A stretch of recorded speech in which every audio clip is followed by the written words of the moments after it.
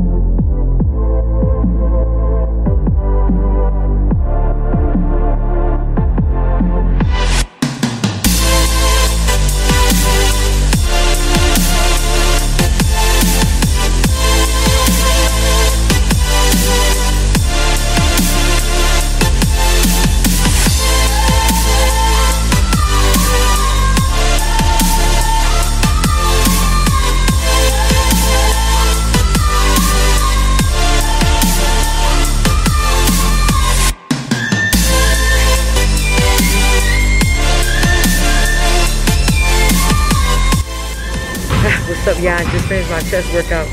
Feel really good. I went as heavy as I can. I didn't have a spotter, which sucks.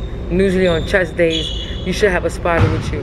Anyways, please subscribe to my page. I hope you like the videos. I've been working hard and much love.